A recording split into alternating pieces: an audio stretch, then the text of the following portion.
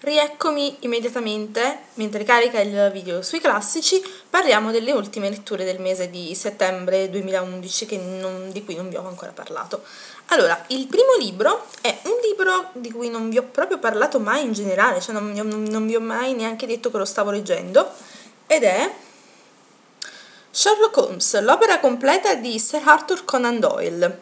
Questa è un'edizione per Uzzo Editori in quattro volumi che contiene tutto, cioè tutto lo scibile possibile ed immaginabile su Sherlock Holmes, tutto quello che Conan Doyle ha scritto su questo personaggio. In particolare, questo primo volume contiene i due primi romanzi, Uno studio in rosso e Il segno dei quattro, e la prima raccolta di racconti, Le memorie di Sherlock Holmes, che contiene una decina di racconti. Sì, andiamo. 11 racconti. Il libro in questione a pagine 409 ovviamente non ha un prezzo eh, però c'è il mammut di Sherlock Holmes che mi pare costi sui 14 euro o 14 o 19 non mi ricordo.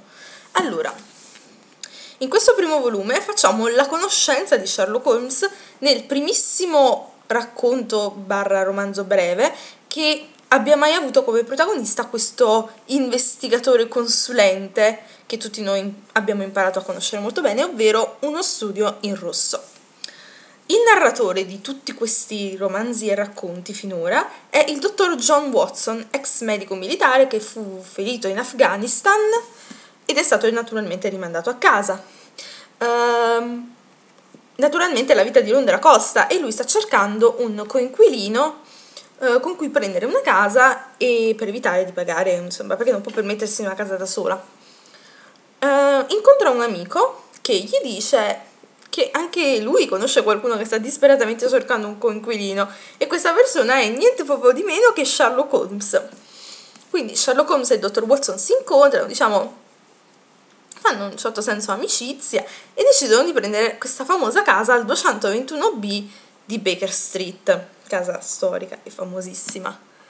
Um, Watson è intrigatissimo da quest'uomo che sembra poter dedurre qualunque cosa semplicemente dando un'occhiata ad una persona, un genio secondo lui assoluto, si rende conto molto in fretta che in realtà è un genio in alcuni settori, perché per esempio mentre sa tutto di chimica, di cose riguardanti il crimine, ignora il sistema copernicano, cioè le, le cose più stupide magari le ignora, ignora tutto di letteratura, proprio perché, secondo Sherlock Holmes, la, la mente umana è una soffitta il cui spazio non è infinito e quindi bisogna evitare di caricarla troppo di informazioni inutili.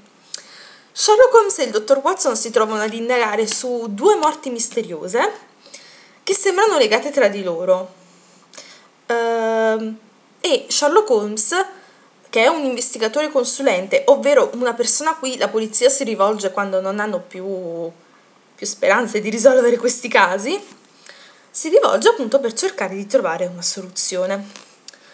Uh, un, devo dire che è un bellissimo, insomma, un libro bellissimo, insomma, io mi sono innamorata di Sherlock Holmes fin dall'inizio, nonostante sia un personaggio, cioè, facilissimo da odiare, perché è insopportabile, tanto è intelligente, è molto spesso freddo, insensibile nei confronti dei sentimenti delle persone dice cose a volte crudeli semplicemente perché le sta deducendo e non si rende conto di quanto siano in realtà cattive per la persona che le sta ascoltando. È un, un drogato praticamente perché nel secondo volume, uh, Il segno dei quattro, all'inizio lo troviamo impegnato a a farsi un, a iniettarsi una soluzione di cocaina al 7% perché lui dice che in periodo di inattività la cocaina gli spalanca la mente. È un, un uomo, insomma, particolarissimo. Non è il classico eroe senza macchie e senza paura che forse è un po' la letteratura successiva e i media ci hanno un po' portato è un uomo molto, molto difficile, da, con cui è molto difficile convivere.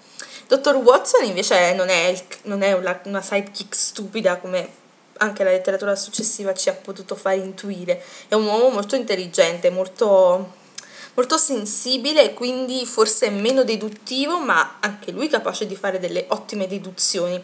Nel corso dei romanzi e dei racconti eh, il loro rapporto diciamo evolve, eh, imparano a conoscersi a vicenda, eh, Watson diventa il biografo ufficiale di Sherlock Holmes, incaricato di raccontare le sue imprese che in realtà lui non, non si prende mai il merito perché lo lascia alla polizia, lascia alla polizia insomma il merito di aver risolto il caso anche se in realtà è stato lui.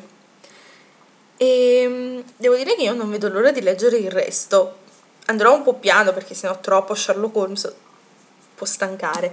Devo dire che mi sono piaciuti di più i due romanzi, li ho trovati più completi. I racconti a volte erano veramente molto molto troppo insipidi.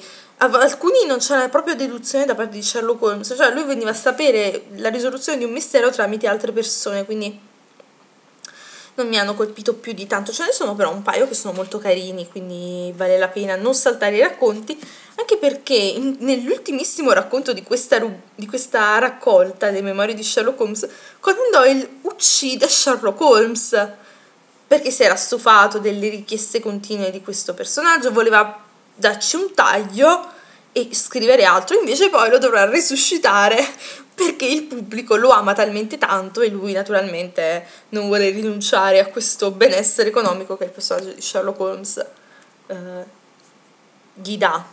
Quindi se volete scoprire il mondo di Sherlock Holmes assolutamente iniziate, fatelo perché non, non, ne rimarrete delusi. Io ho adorato questo libro, ho adorato le storie, mi piaceva il modo di ragionare di Sherlock Holmes. L'ho trovato veramente una lettura esilarante, cioè io ero veramente divertita dal modo di scrivere di Conan Doyle che è molto fluido, molto scorrevole. Poi in questa edizione l'ho trovata veramente molto carina, non so se sia riperibile, penso di sì, almeno nell'usato se, se la trovate, fateci, buttateci un occhio. Quindi questi sono i primi tre racconti, insomma, le prime tre avventure, diciamo, di Sherlock Holmes. Allora, secondo libro, questo ve l'avevo fatto vedere nella famosa lista di lettura, uh, ed è L'isola degli amori infiniti di Daina Ciaviano. Questo è un'edizione Mondadori, il prezzo di copertina era di ben 18 euro. Io l'ho pagato 4,90 euro mm, perché era una rimanenza. Però questo lo potete trovare anche in edizione economica mi sembra a 10 euro 9,50 euro allora, un libro molto particolare, sono stata un po' all'inizio ero molto incerta, poi piano piano ho ingranato. Allora, di che cosa parla? Si intersecano due storie. La prima è quella di Cecilia, che è una giovane esule cubana che vive a Miami, che però sente moltissimo la mancanza della sua terra e del suo paese, non, si, non riesce a, come si può dire, ad, ad ambientarsi negli Stati Uniti, trova questo mondo un po' troppo caotico per lei. Uh, la seconda storia è la, l'epopea familiare di due persone che si chiamano Pablo e Amalia incontriamo Pablo e Amalia, praticamente veniamo a conoscenza delle loro bisnonne, nonne e scopriamo tutte le loro, le loro origini. Pablo in realtà si chiama Pang, Pang Li ed è un giovane cinese che va a vivere a Cuba con i genitori, Pang Li, mentre invece Amalia ha origini sia africane da parte di madre che spagnole da parte di padre e uh, ci sono vari temi sovrannaturali che vengono toccati in questo libro ed è un libro molto particolare. Infatti non, sono, non l'ho ancora commentato su Anobi perché non, non avevo ben chiaro cosa dire. Allora, è un libro molto bello. Ho un po' arrancato all'inizio, devo dire, per qualche giorno non l'ho toccato perché i primi due o tre capitoli non mi avevano proprio esaltato. E poi, insomma, volevo finire quello di Sherlock Holmes che in quel momento mi interessava un po' di più, onestamente. Però devo dire che poi ha ingranato e mi è piaciuto tantissimo, cioè mi è veramente piaciuto molto. È un libro molto particolare, questi scrittori sovran- sudamericani che mettono molto il sovrannaturale nelle loro opere, mi, mi piace. Poi mi è piaciuto come è stato trattato qui in maniera molto, molto particolare, molto quasi fiabesca, però, un certo, però anche un po' cupa, che poi mm, passiamo attraverso gli anni delle varie, dittature, prima quella di Fulgencio Batista e poi quella mm, di Fidel Castro di Cuba. E ci troviamo di fronte a tante cose storiche non semplici, e però mm, ne esce fuori un bel quadro, secondo me, della storia di Cuba. Io non avevo idea del, che l'influenza cinese fosse stata così forte nell'isola di Cuba. Lo ignoravo completamente, proprio completamente. E invece praticamente molta popolazione di Cuba è almeno indirettamente legata a qualcuno proveniente dalla Cina. È veramente una cosa che io non sapevo ed è sempre un, il libro, come ho detto anche nel, nel video sulla donna delle rose, un libro che ti insegna qualcosa vale sempre la pena di leggerlo. Però questo veramente l'ho trovato molto piacevole da leggerlo. Non è pesante, ha un bello stile, non è neanche particolarmente lungo. Non vi ho detto le pagine, scusatemi. Vediamo, sono... No, queste sono le note. Senza le note sono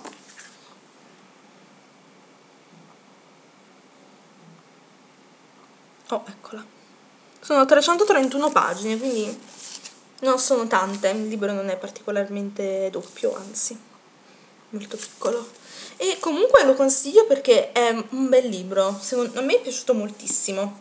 È una storia da... forse la seconda parte mi è piaciuta un po' meno della prima perché poi questa storia d'amore contrastata di famiglie che sono contro questa unione un po' mi ha, insomma, non mi ha entusiasmato più di tanto, però tutta la storia precedente invece veramente mi ha colpito moltissimo e lo consiglio assolutamente. So che qualcuno mi aveva scritto che l'aveva letto, che gli era piaciuto e è piaciuto molto anche a me, quindi siamo sulla stessa lunghezza d'onda, però non mi ricordo chi me l'ha scritto. Scusa, scusami, mi dispiace tantissimo di non ricordarmi Comunque, questo è assolutamente un libro consigliato, è un libro molto, molto leggero, insomma. Certo, in certi punti fa pensare, però insomma non è che sia una lettura poi particolarmente pesante. Poi lo stile di Daina Ciaviano è molto molto molto molto scorrevole, non è scritto piccolissimo, però non è neanche scritto gigante, è scritto medio, normale. E insomma bello, molto bello. Poi la cosa che mi, che mi sono piaciute molto sono queste note iniziali di capitolo. Ah, poi c'è all'inizio c'è un albero genealogico, sono i due alberi genealogici, perché i personaggi sono tanti e a volte ci si può confondere. Poi ci sono queste mini note che parlano dell'influenza cinese a Cuba, che sono interessanti da leggere. Quindi, eh, assolutamente un titolo consigliato. A me è piaciuto veramente molto, è stata una sorpresa. Perché l'ho preso per caso, non avevo idea di che cosa stavo comprando. Comunque, assolutamente lo consiglio. Quindi, L'isola degli amori infiniti di Daina Ciaviano.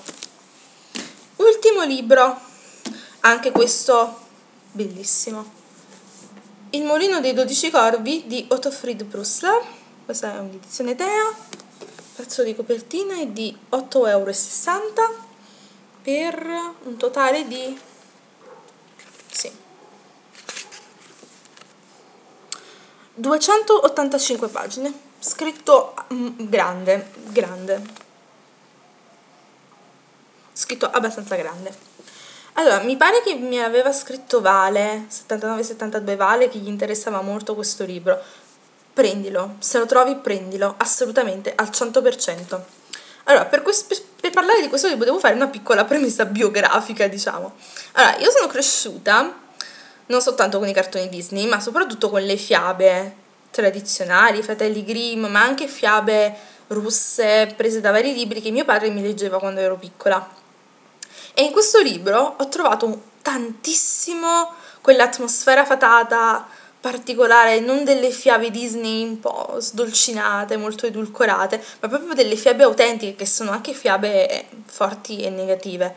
Qui veramente ci ho, ritrovato tantissimo questa atmosfera. Di che cosa parla il libro? Uh, il libro ha per protagonista un ragazzo di 14 anni che si chiama uh, Krabat. Krabat è un orfano che vaga da villaggio in villaggio con, vari, con alcuni amici e una sera inizia a sentire, inizia a sognare qualcuno che lo chiama insistentemente dicendogli di andare ehm, nel mulino della palude di Kosel.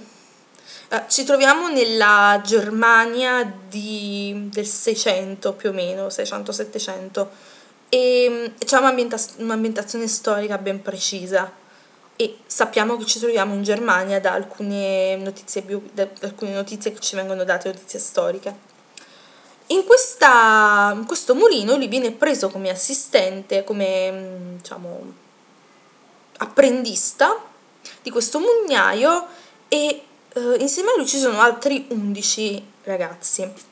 Molto presto viene a scoprire di essere in una scuola di magia nera e scopre anche che ci sono tantissimi segreti che piano piano lui andrà a scoprire. Segreti che non sono molto molto oscuri.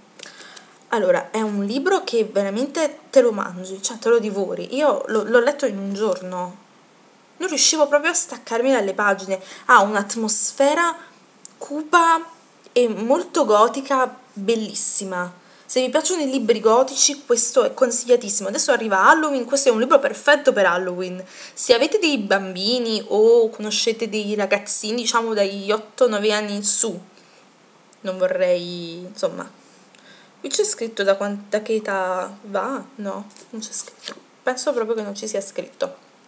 No. Uh, comunque questo è un testo conosciutissimo perché è un classico della letteratura per ragazzi, è stato scritto nel 1981 e, ed è molto molto letto e io mi ricordo questa storia perché poi si basa su una leggenda mh, slava mi sembra è veramente bellissime, non, ci, non è molto descrittivo, almeno all'inizio, poi lo diventa un po' di più, però la senti proprio questa atmosfera particolare, questa atmosfera molto cupa, molto forte in un certo senso, perché poi le fiabe dovevano essere degli insegnamenti per i bambini, quindi a volte erano molto crude. Se leggete le, le favole dei fratelli Grimm o di Perrault, vedete che c'è una certa crudezza nella fiaba, non è la fiaba Disney, quindi molto edulcorata, con un, sempre un lieto fine. Alcune fiabe non hanno il lieto fine, sono finali tragici proprio per insegnare al bambino a non fare determinate cose. E in questa storia veramente c'è, c'è tantissima tradizione della fiaba, è veramente un libro secondo me scritto benissimo poi uno stile scorrevolissimo. La traduzione in certi punti mi è parsa un po' strana, però io non conosco il tedesco, quindi potrebbe essere solamente una mia, una mia impressione. Uh, però veramente scritto benissimo, con uno stile fluidissimo che non, vi, non sentite proprio il peso delle pagine. Poi non è lungo, è piccolino, si legge veramente velocemente. Ripeto, se avete dei bambini o conoscete bambini e volete cercare di avvicinarli alla lettura, questo è un ottimo libro uh, perché è una fiaba uh, non noiosa assolutamente e non è proprio una fiaba per bambini perché ve l'ho detto dai 9 anni in su, non bambini piccoli assolutamente. Uh, anche se con i bambini di oggi, forse va bene anche per i bambini più piccoli. Um, comunque la cosa che mi è piaciuta di più è stata l'atmosfera, questo freddo, questo, questa cupezza. Io adoro le cose mm, vagamente horror, quindi lo sapete, ve l'ho già detto 20.000 volte. E veramente lo consiglio tantissimo, tantissimissimo. È proprio un libro bello, io non l'ho comprato quasi per caso, cioè l'avevo puntato da un po', però non è che avessi poi così, tanto, così tante aspettative, invece è stato veramente un libro fantastico, veramente fantastico. Ehm poi questa edizione 3 è molto carina. Eh, i, tito- I capitoli hanno dei titoli, cosa che mi piace sempre, per esempio questo si chiama Commercio di cavalli, e ci sono anche, cioè è diviso per tre anni, o, o scoprirete, scoprirete che non è proprio così. Comunque, eh, assolutamente leggetelo, anche se siete adulti, anzi soprattutto forse se siete adulti lo potrete apprezzare ancora meglio perché forse i bambini un po' non hanno, non hanno vissuto, appunto perché io in questo libro ci ho ritrovato la mia infanzia e per me è stato bellissimo. E quindi magari potre, potrebbe succedere anche a voi e sarebbe un'ottima, una bella cosa. Quindi assolutamente consigliatissimo anche Il Mulino dei 12 Corvi.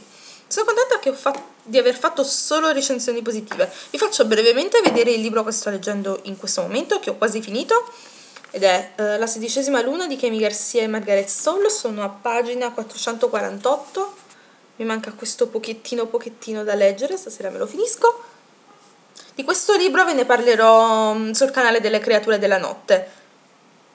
Bello anche questo, consigliato. Uno young adult che mi ha sorpreso. Ne parlerò però naturalmente sul canale delle creature della notte, quindi a novembre. Uh, però assolutamente anche questo consigliato. E della lista di lettura che avevo fatto vedere mi sembra che mi manchino due libri. Sì, due libri. La lista è appesa qui.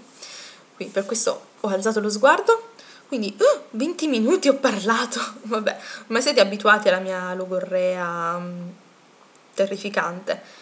Um, niente, questo è tutto. Uh, tutti e tre i libri sono consigliati quest- questa volta. I miracoli ogni tanto avvengono. E niente, Spero di non far passare così tanto tempo per il video successivo e niente, ci vediamo presto. Ciao!